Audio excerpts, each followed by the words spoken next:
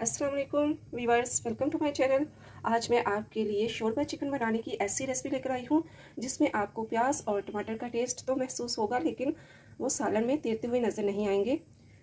Recipe देखने से पहले मेरे चैनल को सब्सक्राइब कर लें। रेसिपी पसंद आए तो लाइक करें फ्रेंड्स में शेयर करें। आइए रेसिपी बनाना शुरू करते हैं। बिसमीम चिकन बनाने के लिए मैंने यहाँ पे ली है मिट्टी की हांडी।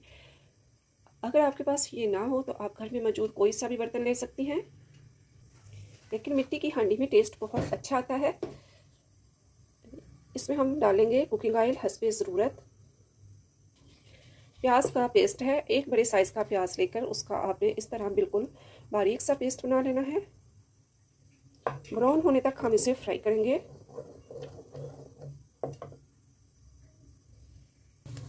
प्याज ब्राउन हो चुका है। अब हम इसमें ऐड करेंगे वन टीस्पून भर के अदरक का पेस्ट, वन टीस्पून लहसुन का पेस्ट। इसको एक मिनट के लिए भून लेंगे।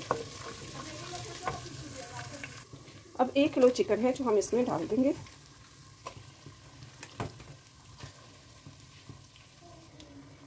तीन से पाँच मिनट के लिए चिकन की भुनाई कर लेंगे।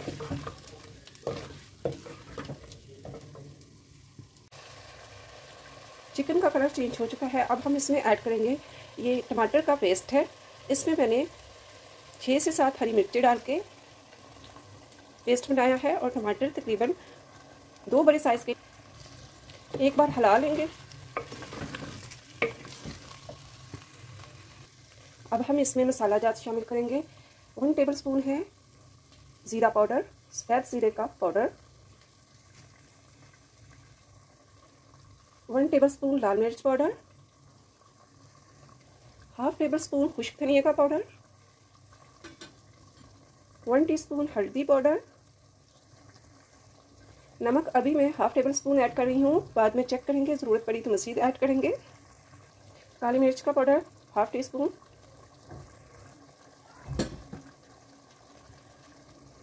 four tablespoon दही है, ठंडा हुआ। मिक्स कर लेंगे।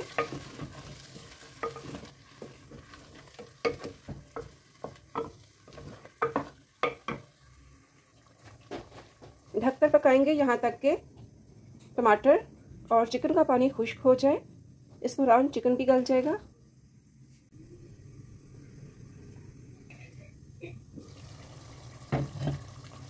आप देख सकती हैं कि ऑयल जो है मसाले से अलग हो रहा है। दही, टमाटर और चिकन का पानी तकरीबन खुश्क हो चुका है। यहाँ पे हम पाँच मिनट के लिए चिकन की भुनाई करेंगे। चिकन भी तकरीबन सेवेंटी परसेंट तक कुक हो चुका है। अब इसमें पानी शामिल करेंगे।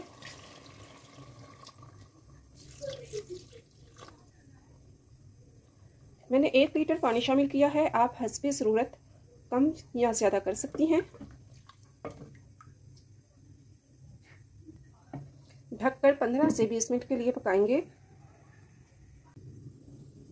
20 मिनट गुजर चुके हैं और चिकन हमारा बिल्कुल तैयार है। अब हम इसमें ऐड करेंगे, ये है मेरे पास दालचीनी का powder, one five teaspoon one four teaspoon गर्म मसाला पाउडर। दो अदद हरी मिर्चें। पाँच मिनट के लिए दम देंगे।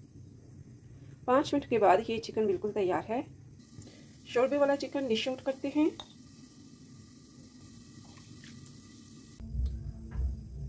आप देख सकती हैं कि इसके शोरबे में कहीं भी प्याज, टमाटर तैरते हुए नज़र नहीं आएँगे और शोरबा भी बिल्कुल पतले पानी जैसा नहीं है।